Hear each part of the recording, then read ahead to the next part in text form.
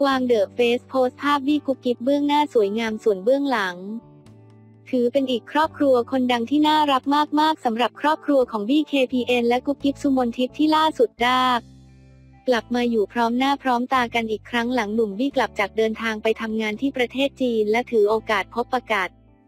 บอพี่บอพี่สื่อมวลชนในรอบหลาย ๆ ปีเพื่ออัปเดตชีวิตกันสักหน่อย แต่งานนี้นอกจากความน่ารักอบอุ่นของครอบครัวซีแล้วดูเหมือนเรื่องความต่างของส่วนสูงของบี้กุ๊กกิ๊บก็จะ